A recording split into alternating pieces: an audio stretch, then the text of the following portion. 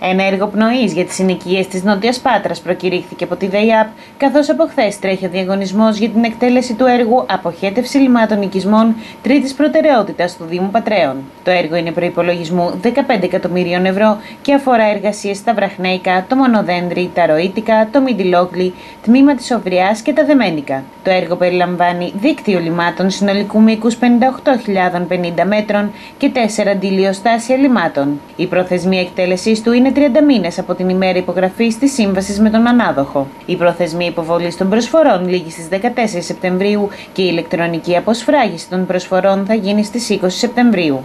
Ε, δημοπρατείται και η, επειδή αυτή, ε, αυτό το έργο είναι μεγάλο και ε, με βάση την ε, νομοθεσία προβλέπεται διεθνής ε, διαγωνισμός οι προσφορές θα ανοιχθούν στο πρώτο δεκαπενθήμερο του Σεπτέμβρη. Ναι. Άρα άμεσα και στις αρχές του 19 θα μπορούμε να πούμε ότι θα ξεκινήσουν οι εργασίες κατασκευής αυτού του έργου. Ε, ε, και η ολοκλήρωση πότε λέτε, λέει, πότε λέτε ολοκλήρωση; Η ολοκλήρωση υπολογίζεται για να ολοκληρωθεί περίπου στα δύο χρόνια. Δύο χρόνια. Μιλάμε για ένα μήκος ε, αγωγών, δηλαδή δικτύων ε, αποχέτευσης περίπου στα 50 χιλιόμετρα. Ναι, είναι τεράστιο, τεράστιο. Είναι τεράστιο το έργο. Αλλά αυτό σας είπα είναι ένα κομμάτι από το σύνολο των έργων και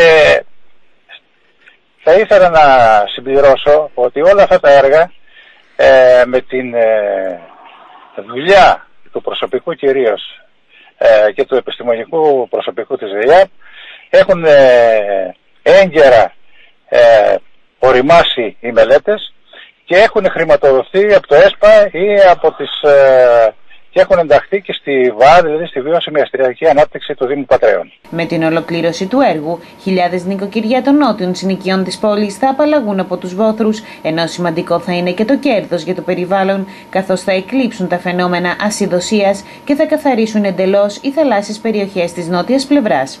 Αν μας δώσετε ένα λεπτό από το χρόνο σας, θα σας δώσουμε τρία χρόνια από το δικό μας. Γιατί στο Δούβρι δεν αγοράζεις, επενδύεις.